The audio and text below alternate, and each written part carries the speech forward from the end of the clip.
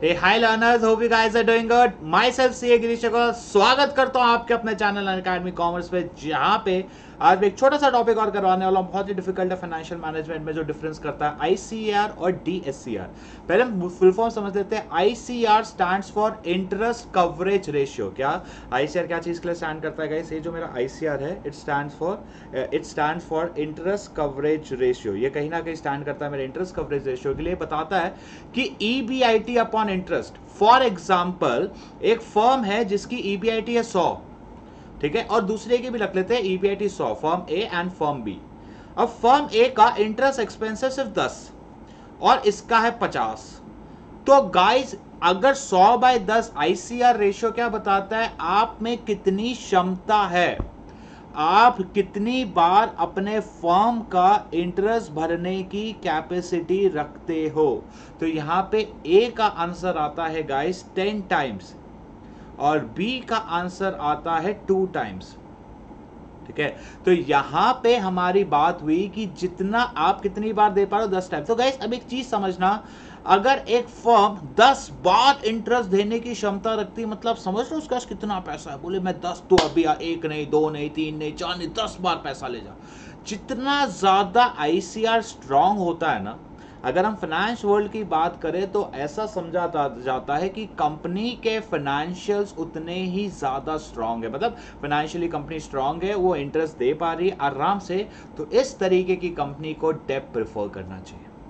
जब जब एक कंपनी का आईसीआर बहुत ज़्यादा हाई होता है, जिसका फॉर्मूला ई ईपीआईटी ऑफ़ इंटरेस्ट उसको डेप प्रिफर करना चाहिए। हायर आईसीआर हायर आईसीआर हमेशा हम क्या प्रिफर करेंगे?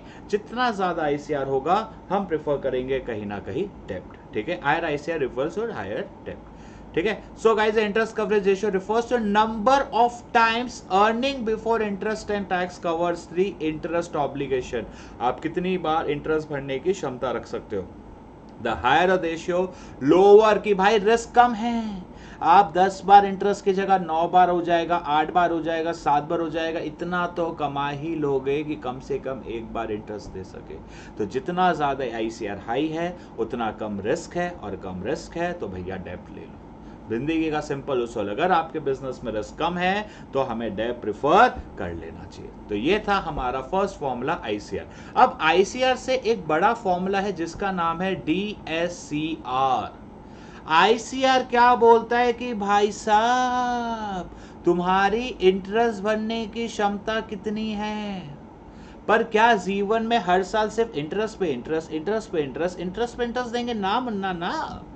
हमें इस इंटरेस्ट का, हमें हमारे फिक्स्ड ऑप्लीकेशन का प्रिंसिपल अमाउंट भी तो चुकाना पड़ सकता है। क्या पता किसी वर्ष, कारण वर्ष कंपनी बंद हो जाए या कुछ भी हो जाए। मुझे, मेरे सारे के सारे जिनसे पैसा उधार पे लिया है, सबके साथ एक साथ आके बोल दे, अभी के अभी मेरा पैसा पूरा लौटाओ। अभी के अभी मेरे जो भी पैसा है, मेरा जो भी फंड है, पूरा का पूरा पैसा मेरा लौटा तो तब क्या कर लोगे? तो डीएससीआर बात करता है कि इंटरेस्ट के साथ साथ तुम में कितनी क्षमता है कि तुम प्रिंसिपल ऑब्लिगेशन भी चुका पा रहे हो the cash profit generated by with the total cash तो गैस आपने बिज़नेस से कितना पैसा कमाया अब गैस इसका मैं एक छोटा सा लॉजिक बता देता हूँ फटाफट आप लोगों को शिट चलो जान दो एक सेकंड मैं आपको इधर ही लिख देता हूँ। ई में से हमने इंटरेस्ट माइनस किया तो मुझे मिलता है ई e इसमें से जब मैं टैक्स माइनस करता हूँ तो मुझे मिलता है अर्निंग आफ्टर टैक्स ये अर्निंग आफ्टर टैक्स अवेलेबल है मेरे पास तो ये अर्निंग आफ्टर टैक्स अब ये जो खर्चे हैं ना, ये मेरे बिज़नेस के खर्चे तो है, ठीक है? अब इंटरेस्ट अगर मुझे नीचे चुकाना है तो मैं ऊपर भी गिनूँगा, क्योंकि गाइस अगर मुझे नीचे पे करना है, मेरे पास क्या क्या पैसा है?